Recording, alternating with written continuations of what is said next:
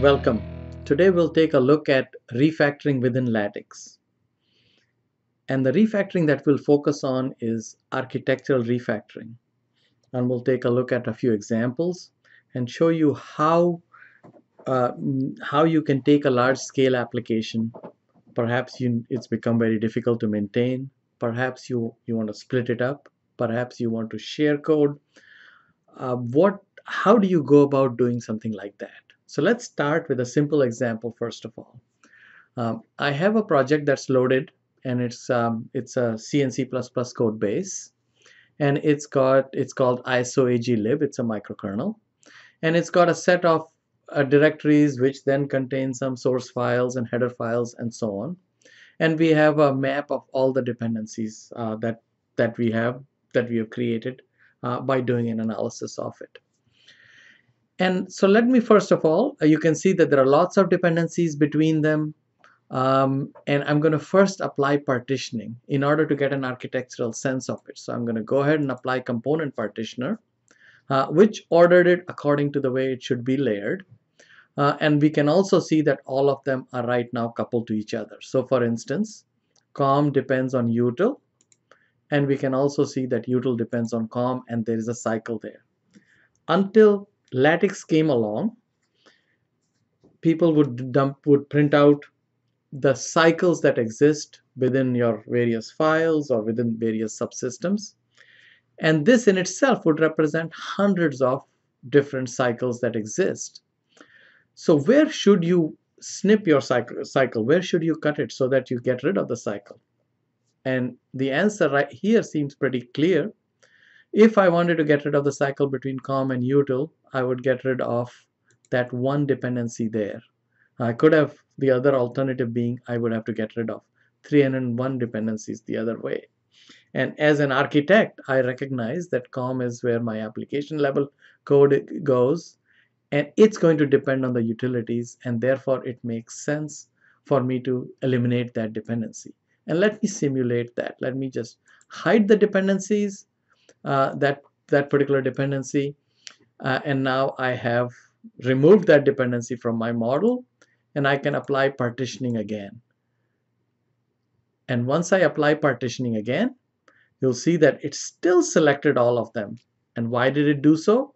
Because we notice that com depends on util. And now util doesn't depend on com anymore but util does depend on the hardware abstraction layer uh, which in turn depends on my driver and then the driver in turn depends on com so here is a cycle which has got four different legs to it and you can have these giant cycles so where should you split it once again, the answer suggests pretty clearly that the driver shouldn't have any dependencies on COM and I can get rid of that de dependency and I'll hide it. And there, I've removed that dependency. And now if I apply partitioning and apply my component partitioner, notice that I have now uh, decoupled my COM, my the rest of my system from COM. So in other words, COM, which is the application layer, uses the rest of the code which is underneath it but the dependencies are removed from the other way. And if we go to the work list, uh, we can see that we have a full list of what are the dependencies that we eliminate. So just to summarize, unless you have an architectural sense, uh, you wouldn't know which dependency to, to remove. And with Lattix, you can directly focus in on the right set of dependencies that uh, that that are caused that are the the bad dependencies are the ones that are causing the cycles uh, and you can fix those. Moving on, let's take a look at um, another example. Let's just stick to, for instance, util, and let's say that we wanted to, there are some utilities that are very useful and we wanted to share it with another application. Well, if we wanted to do that, what would we do? We would turn util into its own library, perhaps a shared library or a static library, which is then linked into ISOAgLib, but then is also linked into some other program. If we try to do it now, notice that util depends on star and therefore the files inside star would have to come with util. Turns out there is a header file there and therefore when we bring in util, we'll have to provide that star as well. But notice that util has a dependency on hardware abstraction layer, which means that when we create a library out of util, it will depend on things which are in HAL And once you have HAL, then it'll pull in stuff because HAL depends on driver. It'll pull in driver. And once you pull in driver, it'll pull in the scheduler. And if we hadn't removed those dependencies, would have pulled in COM as well. And that's the hard, that's the, that's what makes reusing code so difficult.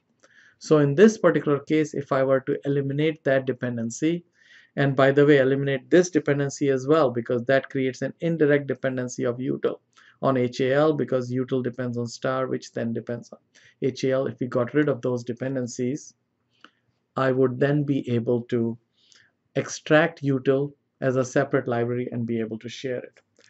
And these are just two examples. Uh, perhaps you have a large application where you want to split it up into many different um, microservices or separate applications. Uh, perhaps uh, you have a library that you want to remove and bring in a newer version of the library or a or replace that technology with a more modern technology. Uh, Lattix will allow you to figure out the exact dependencies. Lattix will then allow you to create a work list.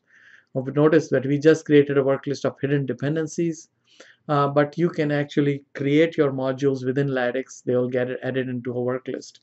So if you have a large scale refactoring job in front of you where you need to actually take an application uh, which has become hard to maintain or which you want to split it apart, you can actually, without writing a line of code, you can actually create a work list, a comprehensive work list, which tells you what you really need to do to arrive at that desired architecture.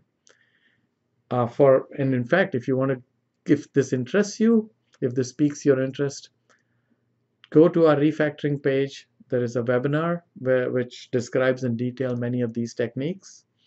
There's also a case study there from LL Bean, which shows how a large-scale application was then refactored using Lattix.